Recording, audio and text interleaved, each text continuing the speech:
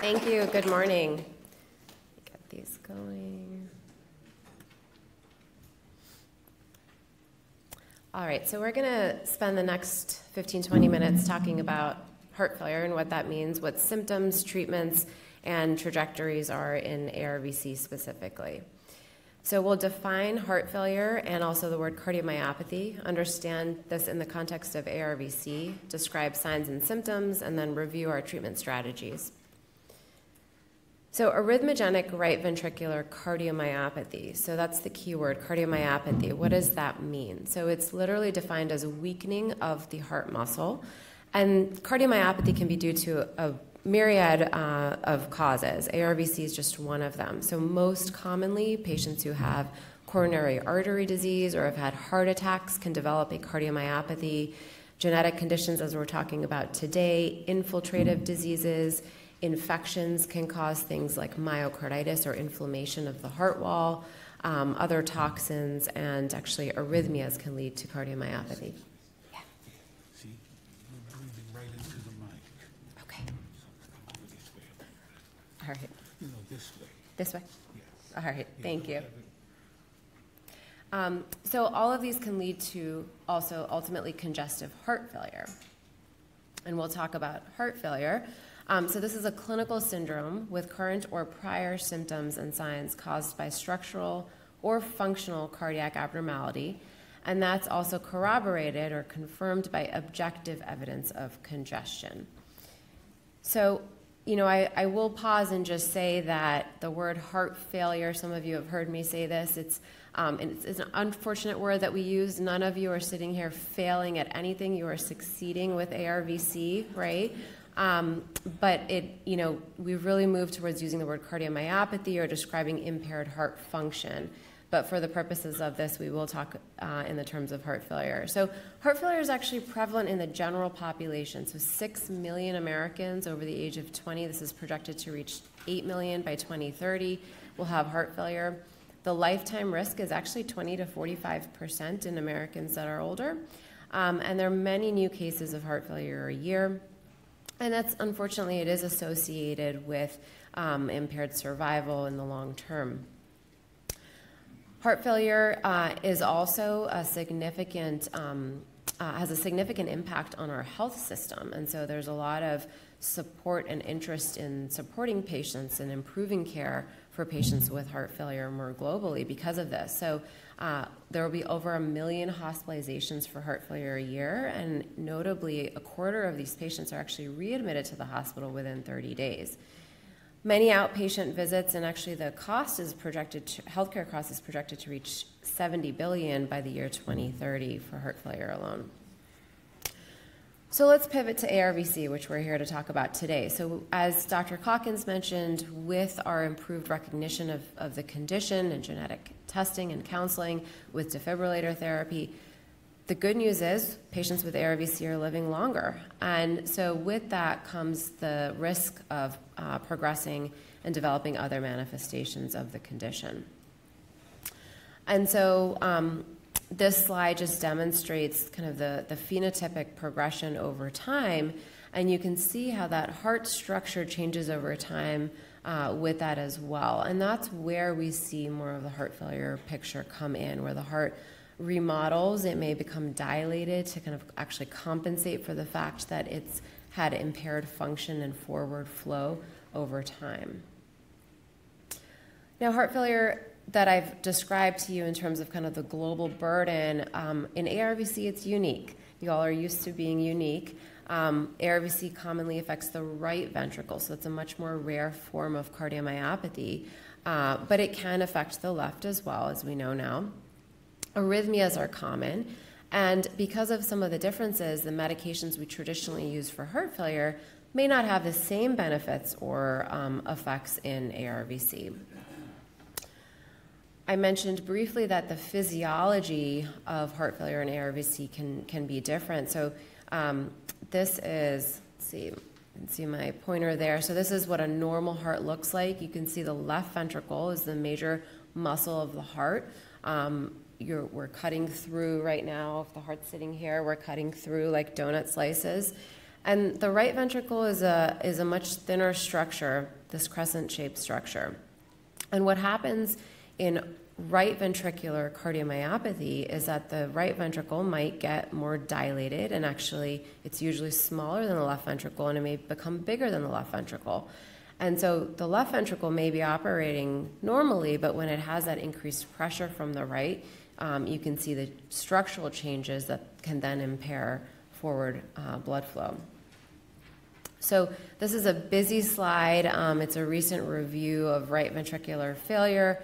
Um, I present mostly to just show you there are a lot of different reasons for right ventricular cardiomyopathy, people with heart attacks, inflammation, after surgery, um, and other causes can, um, can lead to right ventricular failure. ARVC is, is listed despite being rare. We've made it to the list um, of, of uh, reasons for right ventricular failure. Um, and so this just demonstrates kind of the pathophysiology we'll talk a little bit more about as we go through. So we, um, we looked at our cohort through the ARVC registry here at Hopkins to identify how common is heart failure in our ARVC patients and how do they manifest. And so um, as, as Dr. Calkins alluded to, actually, we found amongst 289 patients that close to half of them met clinical criteria for heart failure. So, structural changes in the heart, um, and then symptoms of congestion or heart failure. About a fifth of the patients had biventricular involvement, so that means both ventricles are involved. The left-sided ejection fraction in those patients was 38%. So normal is 55%. So I always tell patients we're not trying to score 100% on our echo test. 55% is normal. So if you're 50, 55, that is great with ARVC, and sometimes we just see that when the right ventricle is kind of bigger um, for um, the left ventricular ejection fraction. Development of these symptoms um, on uh, median age was 41, and 10 years after presentation, about a third of patients had developed some um, manifestations of heart failure. We found that predictors included female sex, having RV dysfunction or dilatation, that, that makes sense. The more dilated your right ventricle is, the more symptoms you may have. Hypertension. So, hypertension is just a risk factor at baseline for heart failure in the general population. Not a lot of our ARVC patients have hypertension, but if you do, it does increase that risk. And then one of the minor criteria we look on um, EKG for. These were the symptoms that patients described. So, um, most commonly, it was shortness of breath or dyspnea, fatigue, and we know that's multifactorial. And so, in this, the limitation of the study was we couldn't kind of parse out is it all that beta blocker that we're on, or is it truly uh, related to the heart failure um, phenotype that we have fatigue, volume overload, and left sided symptoms were actually rare, which makes sense since this is mostly a right-sided process.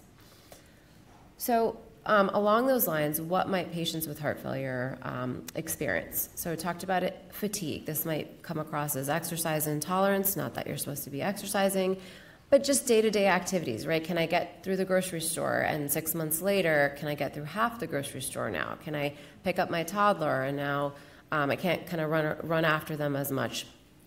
Leg swelling. Um, so that's also known as edema. You may have abdominal bloating, swelling, or tightness because, again, the heart is a pump. If the right side of the heart can't pump blood forward, it backs up in the rest of our body.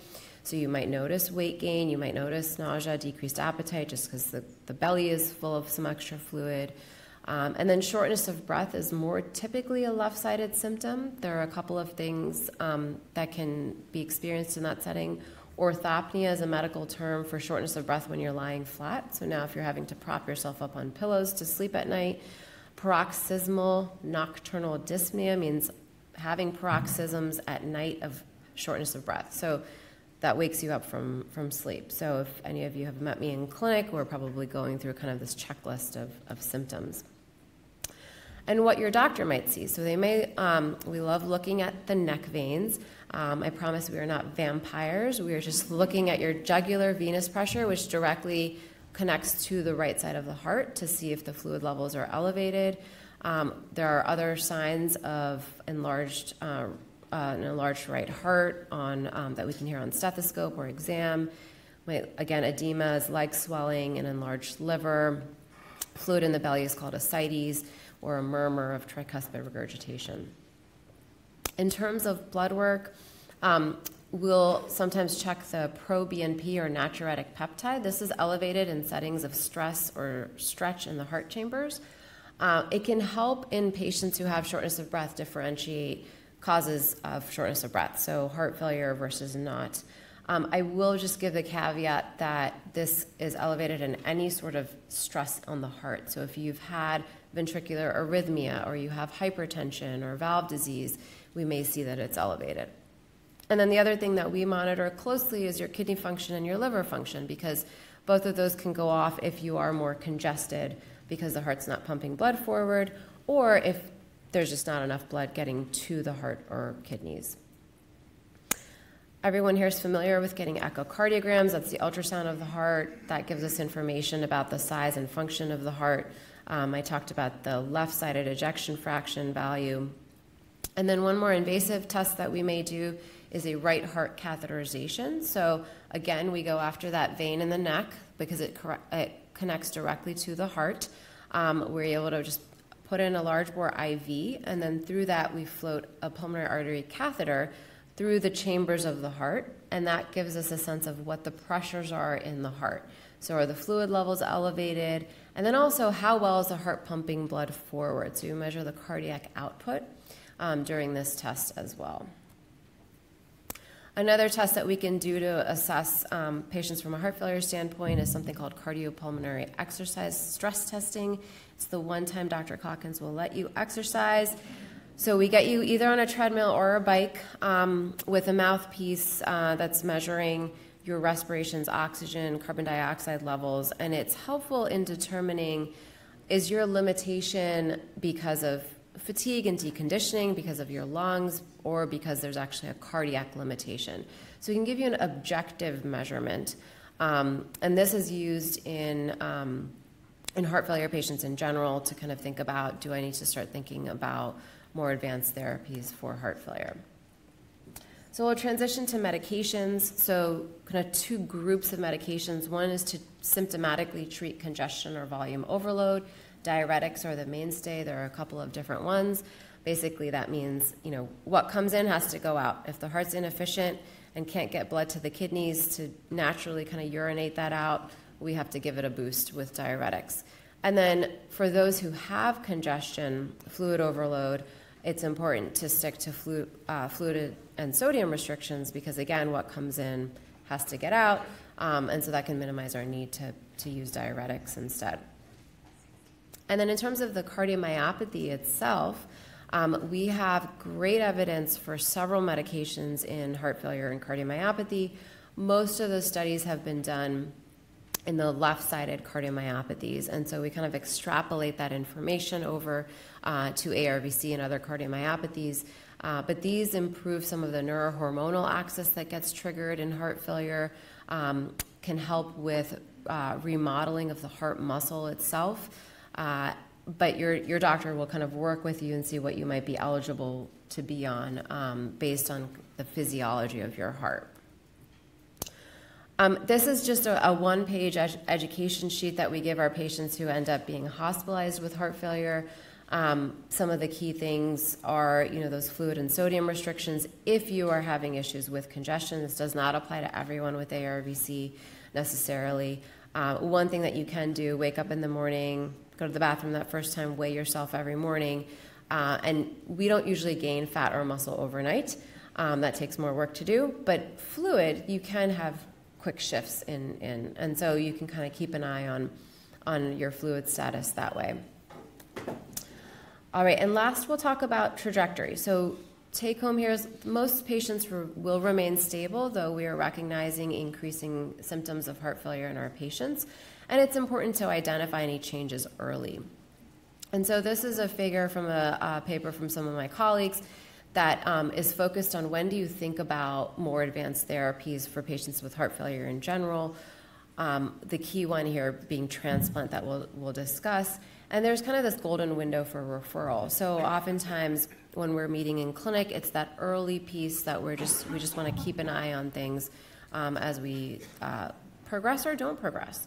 Um, once patients do reach a point where the arrhythmias are under control, but the heart is just not getting enough blood flow to the rest of the body, then um, we can lean on a couple of different interventions. So, one is device therapies.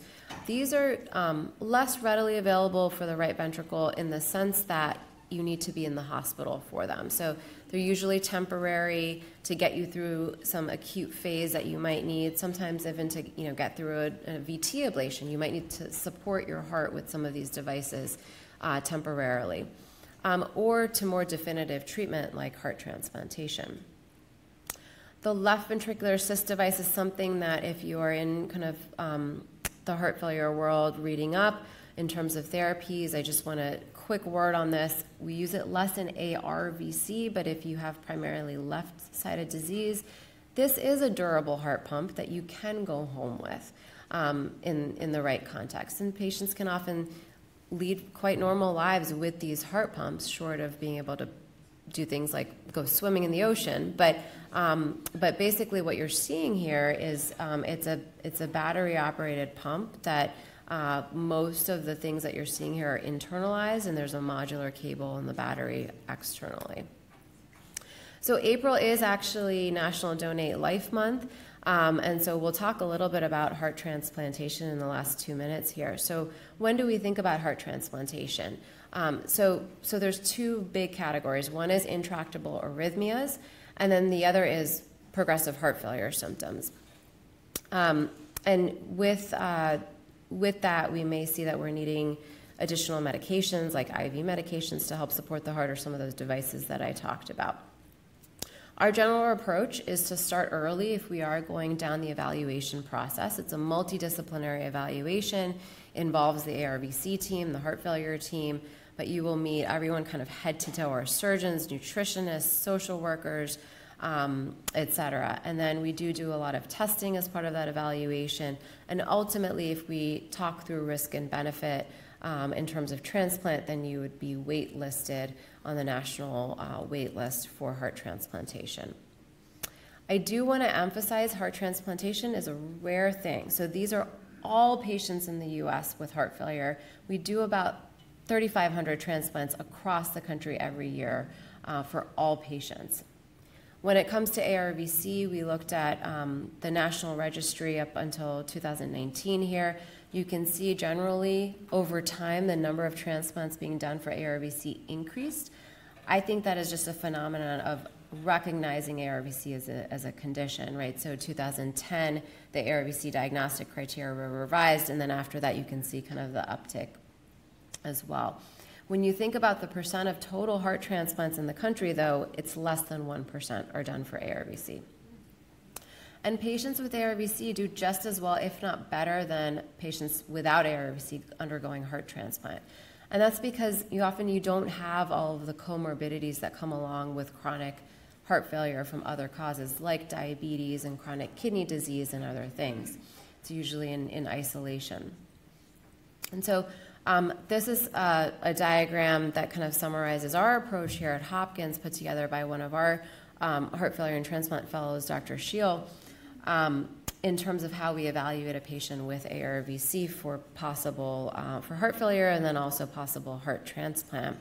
And you know, after the diagnosis is made, um, as I mentioned, it can be an arrhythmia presentation or a heart failure presentation. We've gone through comprehensive assessment, medication initiation, um, testing with the right heart catheterization, cardiopulmonary exercise testing. And then if we're still progressing and not making progress, then we think about what is our strategy to get to that definitive treatment of heart transplantation, which is all the way at the bottom here. And that may be inotropic medications, so those are IV medications that help support the heart muscle uh, in the short term to get to transplant. That might be those temporary devices. So busy slide, but just kind of our algorithm to get there. So in conclusion, heart failure or cardiomyopathy can be seen in ARVC. We monitor for signs and symptoms such as shortness of breath, like swelling, abdominal bloating. Treatment includes symptomatic treatment like fluid pills or diuretics, as well as heart failure specific medications. And very rarely, patients may need heart transplantation. Thank you.